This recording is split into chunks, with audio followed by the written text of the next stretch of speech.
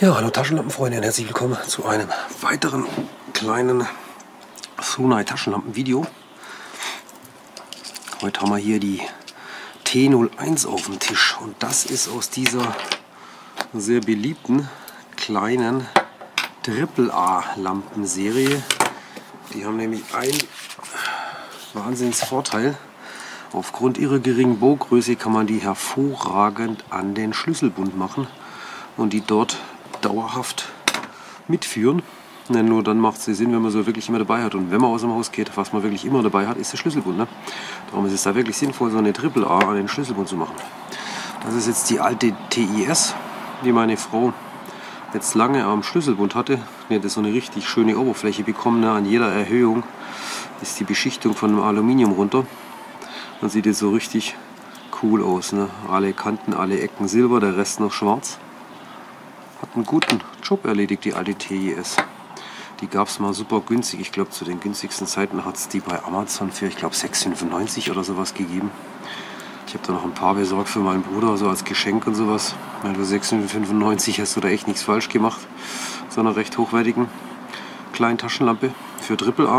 Gut, AAA hat halt immer so ein bisschen das Problem, es hat nicht so die brutal langen Laufzeiten, weil hier einfach nicht so viel ne, Power reinpasst in so ein kleines Batteriechen. Die hatte damals noch eine Orange-Spielreflektor und eine kleine LED drin. Funktioniert aber nach wie vor hervorragend. Ne? Und werden wir demnächst auch mal wieder auf die Reise schicken. Und jetzt hat Maria ihren Schlüsselbund abgegradet auf die T01. Die hat nicht mehr das typische Reflektorsystem, sondern hat hier diese TIR, dieses TIR-Linsensystem drin, das eben so eine gleichmäßige, schöne Ausleuchtung machen soll.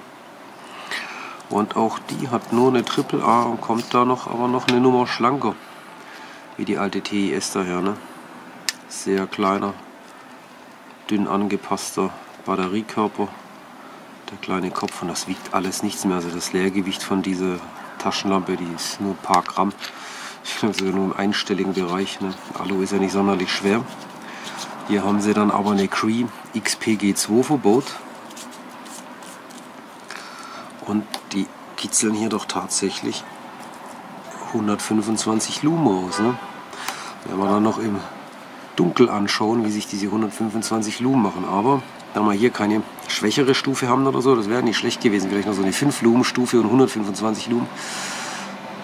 Da die nur mit 125 Lumen läuft, haben wir natürlich nur eine Laufzeit von 40 Minuten. Das ist also wirklich nur ein Lämpchen am Schlüsselbund, um mal geschwind irgendwo ein Schlüsselloch zu finden oder irgendwas, wo runtergefallen ist. Die könnt ihr natürlich nicht verwenden, wenn ihr auf eine Nachtwanderung geht. Weil da ist nach einer Dreiviertelstunde Schicht im Schacht ne? mit dem kleinen Lämpchen. Das sollte also wirklich nur kleine Backup-Lampe sein, wenn man mal kurz irgendwo Licht braucht. Ne? Also das vielleicht nicht mit auf eine Wanderung nehmen, um da hier nachts im, durch den Wald noch zurück ins Lager zu finden. Das wäre ein bisschen fahrlässig und dafür haben diese kleinen AAA-Lampen einfach zu kurz Power. Es sei denn, ihr steckt euch noch ein, noch ein paar AAA-Lampen in die Hosentasche, ne, damit ihr da dann auch wechseln könnt. Ne. Wir haben hier eine Gesamtlänge von gerade mal 66 mm. Ne. Super schlank. Wie groß war die alte? War ein bisschen größer. Ja. 73,6.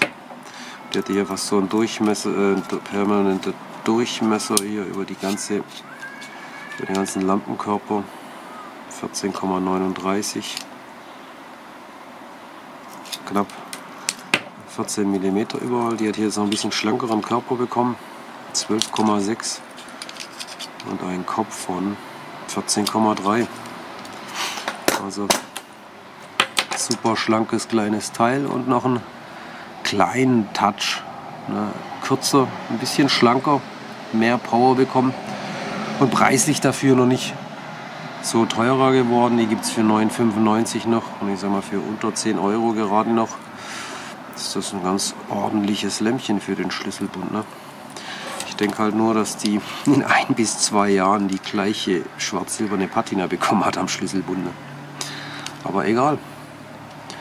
Sie hat gezeigt, dass sie nach wie vor funktioniert und Schlüsselbund fliegt ja auch überall rum, ne? bei den Frauen in den Handtaschen klappert am Autoschloss hin und her, in den Hosentaschen, Jackentaschen. Das ist eben das Gute, wenn Sie eine ordentliche Glasscheibe verwenden, da ist nicht ein Kratzer drin. Ich hatte schon Lämpchen mit Kunststoff äh, hier oben drin, die sahen schon nach einer Weile nicht mehr so gut aus. Und auch hier haben wir so ein Linsensystem drin. Da glaube ich aber, dass diese Linsensysteme aus Kunststoff gegossen werden.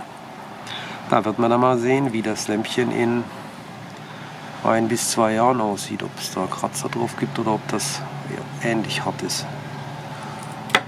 Der ist fähig, an der Stelle sogar noch ein bisschen besser wie hier. Der hatte hier nur eine sehr kleine Fläche, muss man also sehr genau hinstellen, beziehungsweise irgendwo auf einer ganz leicht unebenen Untergrund ist es schon nicht mehr gestanden, hat man hier natürlich ein bisschen mehr Fläche zum Hinstellen. Ja.